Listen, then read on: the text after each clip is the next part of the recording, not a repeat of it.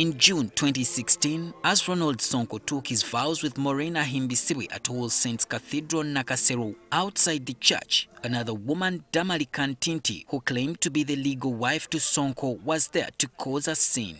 Give an interview. Another man. Yes, but the man who destroys. She wanted the wedding stopped because Sonko was allegedly illegally marrying again. I am legally married to Sonko Ronald, but it's amazing to see that the church has allowed him to get married to another person, even when we had several consultations with the clergy here. Damali carried along with her photos to prove that she had wed Sonko in a customary marriage. However, that union was never registered with the government. It is today that I have learned that you must register customary marriage. This was the same reason the church gave for having proceeded with the ceremony since the introduction ceremony of Sonko and Kantinti was never legalized.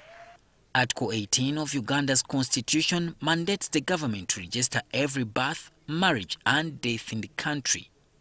The Uganda Registration Services Bureau, a body in charge of the task, has now issued a notice warning people who have wed from unlicensed places of worship. If you are married in a place which does not have a license, you are not married under the law. You might be married according to God and what God has put together, no man shall put asunder, but you're not living in heaven. Charles Nsimbi, the manager civil registration in URSB, says many married people find out late that their matrimonial life has been quack when circumstances demanded they cross-check it with the bureau. We know that for sure there are people who have had challenges because when the, the husband dies, the family takes over the property. They chase away the wife. Why? Because are you a wife? Can you prove you're a wife? Yeah? You can't prove yet if you have a registered marriage, you don't even need to go to the administrator general, you go straight to the high court and get letters of administration. However, such marriages can be rectified. If you did a customary marriage before you went to that church, you can go and re register that customary marriage at the sub-county. Okay? Alternatively, you can go to a church now and which has a license and do your wedding again.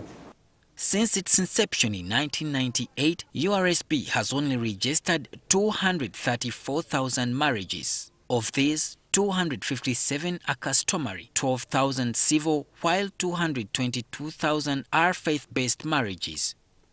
How does someone find out whether the place of worship they intend to marry in is licensed and gazetted?